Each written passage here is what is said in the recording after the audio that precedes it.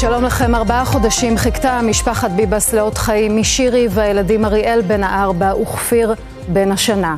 היום צה"ל מפרסם את התיעוד האחרון שלהם מיום החטיפה, כשהם בחיים, שעות מהרגע שבו נלקחו באכזריות מהבית בניר עוז. בתיעוד הזה, ממצלמות רחוב בח'אן יונס, נראית שירי מחזיקה את ילדיה, מגוננת עליהם, כשהיא מוקפת בשבעה מחבלים, שמכניסים אותה בהמשך לרכב שנוסע משם ליעד לא ידוע.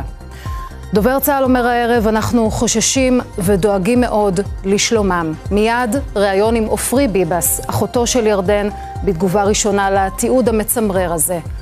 ומיד גם חשיפה על היורש המיועד של סינואר, שכבר מסומן. אנחנו נהיה גם עם כל העדכונים מהערב המתוח בצפון, אחרי תקיפת צה"ל בעומק לבנון, בצידון. ועוד היום הותר לפרסום שמו של חלל צה"ל שנפל בקרבות ברצועה. סמל ראשון סימון שלומוב, בן 20, מקריית ביאליק, לוחם בגדוד 202 של חטיבת הצנחנים. יהי זכרו ברוך. אנחנו פותחים בתיעוד האחרון של משפחת ביבס בכתבה של כרמל דנגור.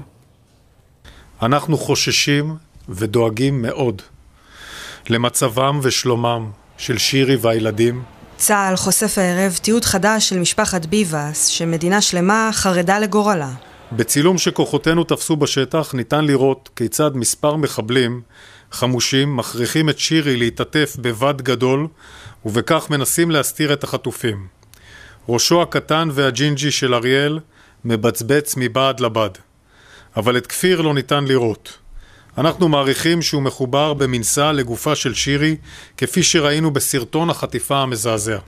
הסרטון, חשוב להדגיש, צולם ב-7 באוקטובר, שעות אחרי שהמשפחה נחטפה מביתה בקיבוץ ניר עוז, ואינו מעיד על מצבם של שירי והילדים כעת. שירי נחטפה עם אריאל בן הארבע וכפיר בן התשעה חודשים, בסמוך לשעה עשר בבוקר, על ידי מחבלים בטרקטורון, ומשם הם הועברו לטנדר אחר, שלקח אותם לחלקו המזרחי של מרחב ח'אן יונס, למוצב של ארגון טרור המכונה כתאיב מוג'הדין. مش عندهم ما حدا حيصيدها ما حدا حيصيبها عشان تعرف ان الانسانيه عندنا שירי והילדים, עטופים בבד גדול, הולכים במרחב וסביבם חמושים. ולאחר זמן מה, הם מוכנסים לרכב נוסף ונלקחים למקום אחר. אב המשפחה, ירדן ביבס, לא נראה בסרטון. ירדן ביבס, אב המשפחה, נחטף על ידי חמאס והופרד ממשפחתו.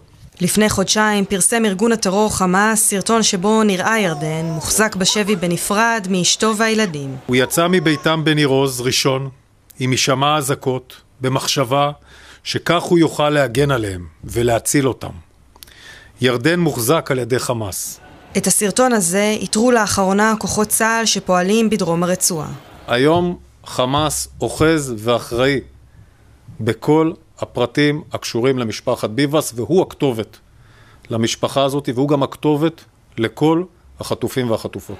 הסרטון שבו אנחנו רואים את משפחת ביבס בעזה צובט את הלב ומזכיר לנו עם מי יש לנו עסק, עם חוטפי תינוקות אכזריים.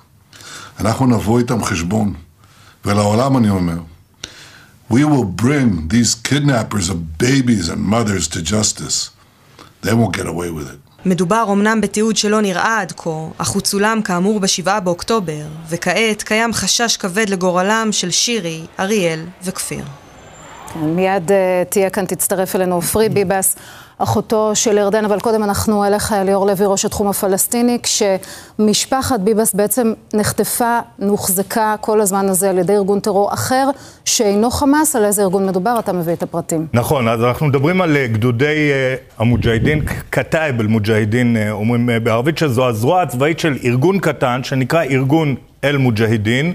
ארגון קיקיוני, מיכל, יש להם אמצעים מועטים, הם פעילים בעיקר בחלקה הדרומי של uh, uh, רצועת uh, עזה, הם אחד מבין 26 פלגים קטנים בתוך רצועת עזה מעבר לחמאס ולג'יהאד האיסלאמי, כאשר בפעולות הצבאיות שלהם בשנים האחרונות הם נוהגים לשתף פעולה, גם עם חמאס, גם עם הג'יהאד האיסלאמי וגם עם ארגונים אחרים, בגלל שאין להם את אותן יכולות, אבל ב-7 באוקטובר, אחרי שחמאס פרץ בעצם את הגדרות, כבר הם לא היו צריכים יכולות גדולות מדי, mm-hmm. נכנסו לאזור ניר עוז בחלק הדרומי של העוטף וחטפו משם את משפחת ביבס. כן, תודה רבה ליאור, ואנחנו...